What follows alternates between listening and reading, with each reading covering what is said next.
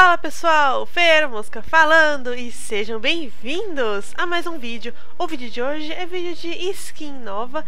É, isso mesmo, temos mais quatro skins novas no PBE, mas esse vídeo eu só vou trazer três porque a do Mordekaiser está bugada e está desabilitada do PBE.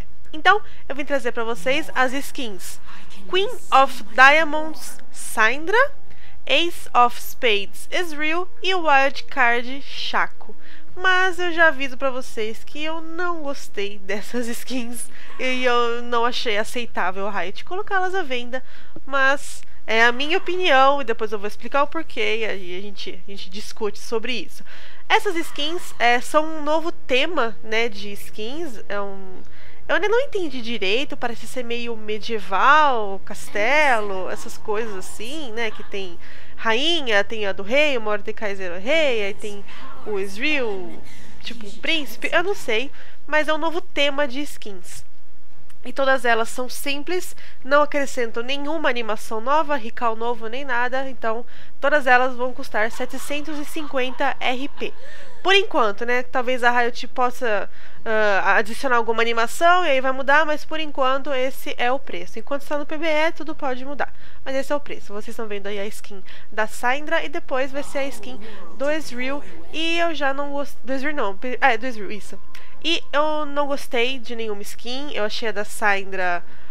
as cores uh, não são originais, são cores que a gente tem na skin da Ashe, na skin da Anne. Uh, não é só porque é um personagem feminino que precisa ter rosa, roxo. Uh, uh. Pô, muda as cores, né? Eu não achei nem um pouco aceitável essa skin. Não gostei, não compraria.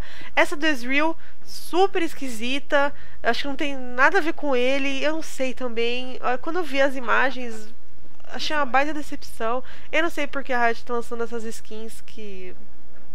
São blé, sabe? Não são skins são skins normais. O Ezreal tem tipo 9, 8 skins. Vai lançar mais uma skin pro Ezreal. Lança pra outro campeão, entendeu? Cadê uma skin do Zek?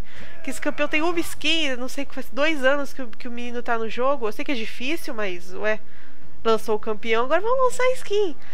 É, vocês estão vendo aí do Chaco. Eu também nem tenho muito tempo para falar, que não tem muito o que mostrar. Essa skin do Chaco é a mais aceitável, porque o Chaco é um campeão assim que dá um leque maior para skins diferentes. Então acho que essa, essa skin é a mais aceitável, uma que se fosse para comprar eu compraria. E a do Mordekaiser não vou nem falar, porque tem tanto tempo que não tem uma skin para ele, né? Que quando vem a gente não pode reclamar.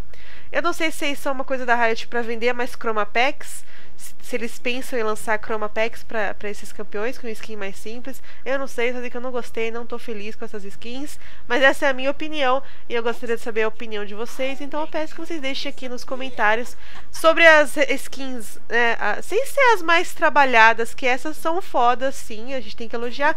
Mas essas mais normais, mais baratas. Eu acho que só porque é mais barata que tem que ser tão sem graça assim. Ah, vocês estão vendo a skin da. A, a ult do Chaco tá um pouquinho bugada, mas está no PBE, então ok, com certeza ela vai ser arrumada até o lançamento.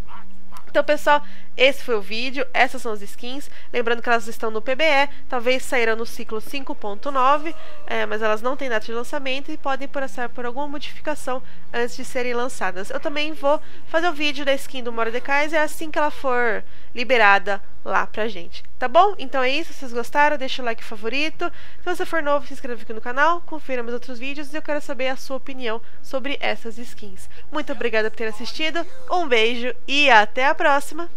Tchau!